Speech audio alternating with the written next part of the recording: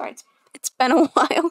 Hi everyone, my name is Sammy and thank you so much for clicking on this video. Today we're going to be talking about someone you may have heard about recently because of a controversy between this guy and...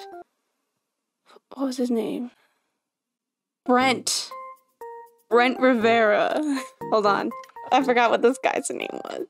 So today we're going to be talking about Tyler Oliveira.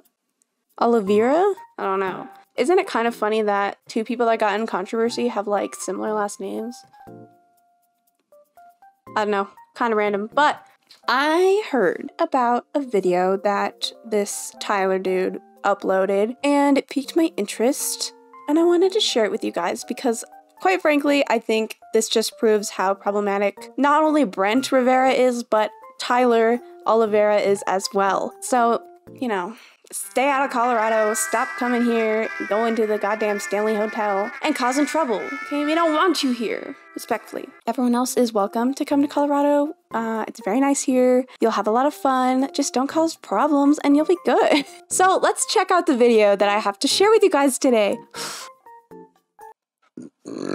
Electric scooters have ruined society. Piles of scooters everywhere, and hooligans running amok unchecked. So I kidnapped every scooter I could find on the streets and put them on my trailer. All right, so right off the bat, what? What were you thinking, dude? So, you know, people are thirsty for content all the time and they come up with the weirdest ideas. And rather than coming up with cool and fun ideas, they come up with problematic ones because maybe they'll get more clicks or something. I'm not really sure. What was the reasoning behind this? Content, but that's shit content, respectfully. Or disrespectfully. Alright, let's keep watching. and began assembling an electric scooter mountain atop the highest hill I could find until an aggro bird fleet manager arrived. Who are you? Uh, I'm with Bird. I'm a goddamn cult leader cleaning up the city. This is private property. You're breaking the law. The crazy person who literally just picked up 60. They called Martin Luther King Jr. crazy. What? It's not funny. um, No one's laughing. what was the thought process behind this? Um, I don't know if it's supposed to be comedy. Are people supposed to find this funny? Like, I don't think many people found this funny. Uh, we'll keep watching. It, it doesn't get any better. Are you You're financially incentivized to have this opinion. I'm financially incentivized to have homeless people removed from the streets rather than a scooter? Everyone else is playing chess and you're like in a field playing Monopoly by yourself. And then the Bird Goon Squad backup arrived. How you doing, guys? Are we about to get gangbanged? Like, is this squad gangbang right here, or are we good here? I'm confused. Why is he acting surprised that this happened?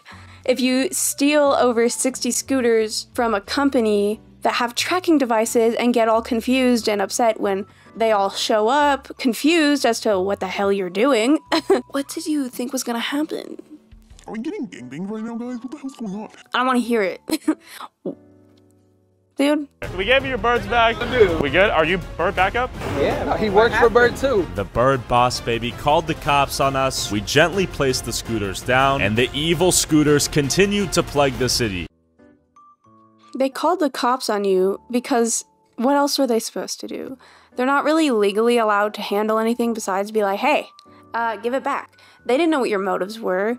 For all they know, you're just some psycho that wants to steal all the scooters. And you're trying to make a statement like, oh, I'm a cult leader. Oh, I'm cleaning up the streets of the wretched scooters. No one gives a damn. No one thought that was funny. Who's laughing? You're a nuisance. I hate nuisances, man. Good God. He gently set them down at least. Otherwise, that would be property destruction, which is illegal. So, good thing you gently set them down after you stole them and removed them from where they're supposed to be. Let's be real here. Um, how bothered are you actually by scooters? How bothered is anybody by scooters? The intro contains a few clips of people messing around on scooters, you know, committing tomfoolery, and I guess that's supposed to be all his evidence, all that he needs to justify his actions. I'm glad that you upset a ton of people for uh, 30 seconds of content on YouTube. My biggest want for this world is for people to stop upsetting people for content. We just heard about that YouTube prankster that got shot. Like he he lived and he's just like, anyway, Back to the grind. and I'm like, you harass people for a career? A career. and then you literally get shot for your actions. Not saying that he deserved to get shot or that the guy that shot him like deserves to get off scot free or anything like that, but like, what is it? There's like a saying like if you poke the bear, don't poke the bear. I don't know. You know what I'm saying? Anyway, in my opinion, I don't think you can really be a good person if you purposely try to upset people that are just trying to do their job. I don't think that you're that good of a person. It's just a judgment of character. So I guess however you want to be perceived by people and be perceived online, go for it, whatever. If you want to be perceived as an asshole that steals scooters and an asshole that fucks with people when they're trying to do their job, that's fine. But expect the consequences. Expect people to think you're an idiot. Expect people not to like you. Expect people not to like your content. But yeah, that's all I have to say. Don't mess with people just to get them angry for content, quote unquote. Why all this work for 30 seconds? Got the cops called on you, you upset a company, and it wasn't even funny. That's it for me, guys. Thank you so much for watching. I'm so sorry for the lack of uploads consistently. I have good news. I got employed again. Yay! I'm super excited about it. I love my job, but unfortunately, my ADHD only allows me to do so much in a day. So when I'm done with work, I'm done for the day. And um, I guess I just lacked a little bit of motivation, but I really love making videos and I have so many ideas. So thank you for 60 subscribers and thank you for sticking around. I hope to see you guys in my next video. Bye!